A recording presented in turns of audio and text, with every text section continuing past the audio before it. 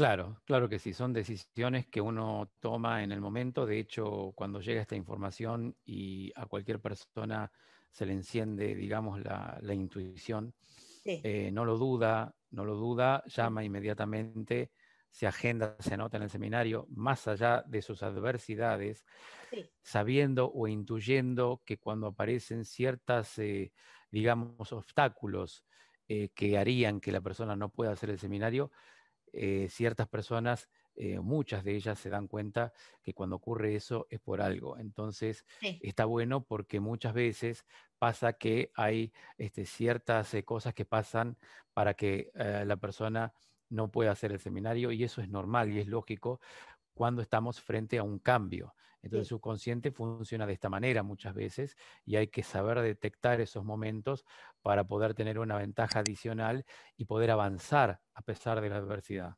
Eso me gusta porque ocurre mucho también en el, diplomado que yo hago. Las personas van muy entusiasmadas y empiezan a ver situaciones o se empiezan a ver y se empiezan a asustar. Pero acá la transformación, igual como tú lo dices, lo mejor viene después. Este es como es como el susto del momento de que qué voy a descubrir, pero la verdad tu inconsciente lo sabe todo, nada más que lo vas a, lo vas a ver y lo vas a comprender.